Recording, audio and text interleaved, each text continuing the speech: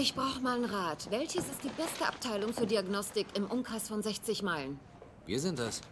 Wir sind nicht da. Haus ist in Baltimore und belügt wegen der Abrechnung die Versicherung. Und?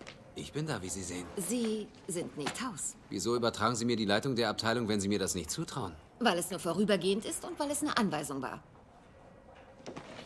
Was sind die Symptome? Oh, kommen Sie. Sie wollen eine Diagnose stellen, ohne den Mann mal gesehen zu haben, zum Beweis, dass Sie genauso brillant sind wie Haus? Ich will Sie wissen, damit ich weiß, welche Klinik ich empfehlen muss. Nach dem Bericht weist der Patient nach einem Sturz auf den Schädel eine Aphasie auf. Oh, ein neurologisches Problem. Ich kenne da ein paar hervorragende Ärzte in diesem Fachbereich, da ich selbst Neurologe bin.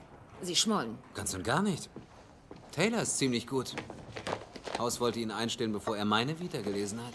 Es ist Fletcher Stone. Er hat zwölf Bücher geschrieben und drei Regierungen diffamiert. Bevor er das auch mit uns macht, möchte Schon ich... klar. Berühmter Patient braucht berühmten Arzt. Ich rufe Taylor an. Danke. Oder wie wär's, wenn Sie ihn anrufen? Womöglich sage ich irgendwas Dummes. Oh Gott. Haus ziert sich nicht so.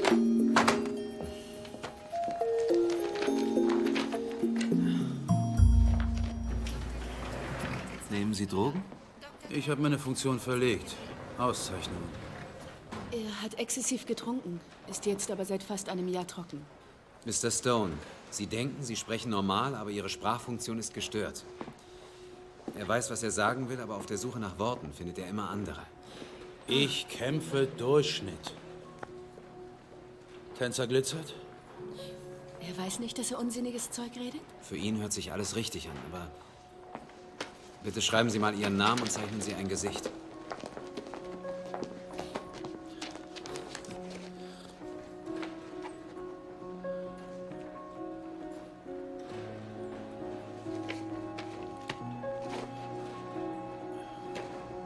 Nennen das Agraphie, Verlust des Schreibvermögens. Meistens ist es nur vorübergehend. Wie stark hat er sich den Schädel angeschlagen? Es war ein ziemlich hässlicher Crash. Es war ein furchtbar lautes Geräusch. Verstehen Sie, was ich sage? Aber lächerlicher. Antworten Sie nicht mit einem Satz. Sagen Sie nur Ja oder Nein. Verstehen Sie, was ich meine?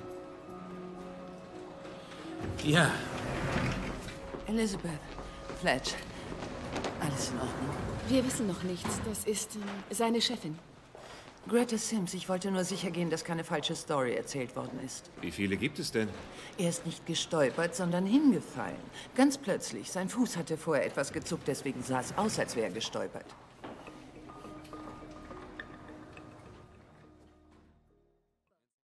oder Meningitis sind für mich die Verdächtigen. Geben Sie ihm Antibiotika. Es ist vielleicht eine Autoimmunerkrankung, Lupus, Bichett.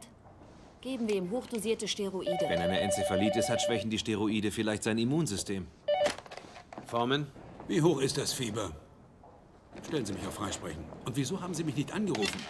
38,3. Woher wussten Sie das? Habt ihr Kids gedacht, ihr könnt eine Party machen, während der Vater aus dem Haus ist und er würde es nicht erfahren? Geben Sie als erstes ein Breitbandantibiotikum wegen möglicher bakterieller Meningitis und ein Virostatikum. Für den Fall, dass wir Glück haben und es Herpesenzephalitis ist. Und wenn es eine Autoimmunerkrankung Dann ist? sind wir angeschissen.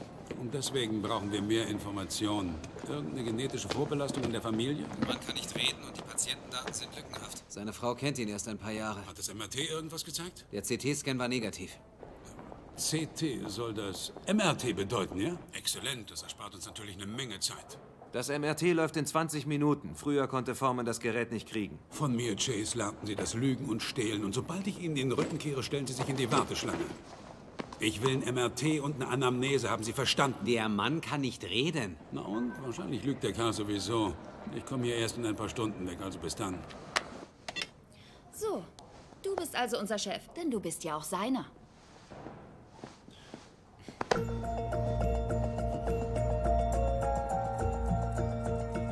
Ihrer Familie neurologische Probleme bekannt? Nein. Waren Sie in den letzten fünf Jahren mal im Ausland? Ja? In den letzten drei Jahren? Ja. In den letzten zwei? Mit beruflichen Reisen war vor zwei Jahren Schluss, als unsere Beziehung fester wurde. Urlaubsreisen? Seine letzte ist ungefähr sechs Monate her. Er war in einem Golfresort in Key Biscayne. Es war ganz bestimmt kein Golfresort. So wie ich Fletcher kenne, ist er durch alle Bars in den Kies gezogen. Letzte Sause vor dem Häuslichwerden. Alkohol? Nein. Amphetamine? Nein. Ihre Tests waren positiv. Er nimmt keine Drogen. Ich sagte ja schon. Als ähm, wir Verlobung feierten, fassten wir den Entschluss, ein anderes Leben zu führen. Er hörte auf mit dem Macho-Journalismus. Nie mehr riskante Sachen, nie mehr. Das galt auch für seine Gesundheit. Er hat mich gebeten, es Liz nicht zu sagen. Er hat sie also belogen, was seine Sucht betrifft. Ich würde sagen, ja und nein. Vor E, vor Elizabeth, hat er Drogen nur hin und wieder konsumiert. Ich war nicht gerade begeistert, aber der Nervenkitzel machte ihn gerade zu dem Journalisten, der er war. Und jetzt, nach E? Ihr zuliebe hat er sein Leben völlig verändert. Den alten Adam weggeworfen. Doch die Drogen. Zum Heilen, sozusagen. Er hatte Einschlafprobleme. Dieser neue Vorstadtlebensstil. Es fehlte die Aufregung, das hat ihn aus der Bahn geworfen. Also hat er Schlaftabletten genommen. Und wenn er davon K.O. war, schluckte er was, das ihn wieder munter machte.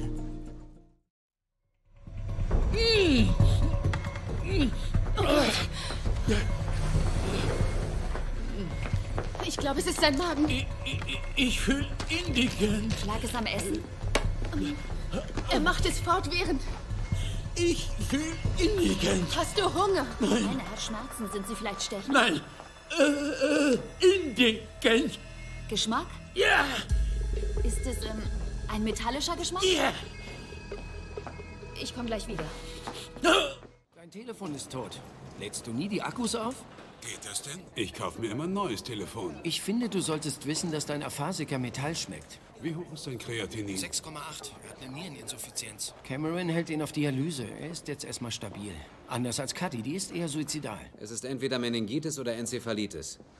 Oder vielleicht eine Autoimmunerkrankung. Na super, dann haben Sie es ja beim Essen schön eingegrenzt. Ich schlage vor, wir reden mit Haus. Wir erreichen ihn nicht. Er geht nicht ans Handy. Auf jeden Fall rat die zur Lumbalpunktion. Wir haben keine Alternative.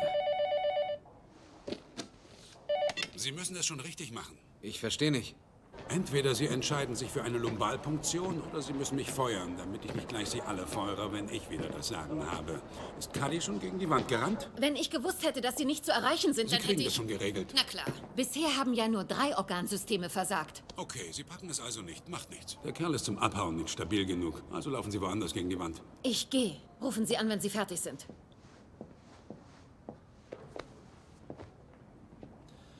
Was meinten Sie vorhin mit dem Richtigmachen? Meinten Sie damit die LP? Der Kerl weiß irgendwas, das er uns verschweigt. Vielleicht die Antwort auf die Frage nach dem Sinn des Lebens, aber er kann nicht kommunizieren. Hatten Sie den Eindruck, dass er versuchte, Ihnen irgendwas Wichtiges mitzuteilen?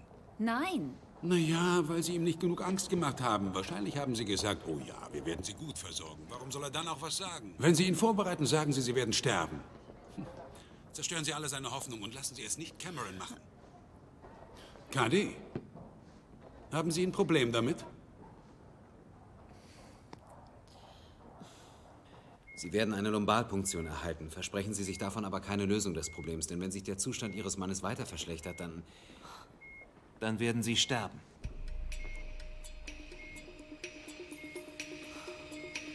Wenn da irgendetwas ist, das Sie uns nicht gesagt haben.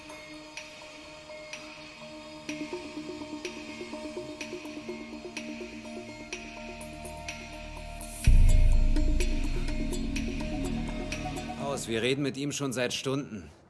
Möglicherweise hat er aufgegeben. Haben Sie mir auch alles gesagt, was Sie bei ihm gefunden haben? Wir verschweigen was. Vielleicht ist es kein Reim oder ein Synonym. Was soll es sonst sein? Sollen wir ähm, vielleicht wild drauf losraten? Wie wär's, wenn sich Haus irrt?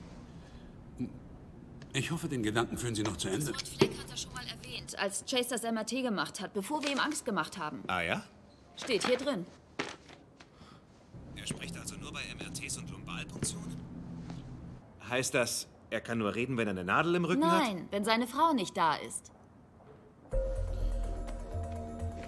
Je gewaltiger das Gefühl, desto mehr wird gelogen.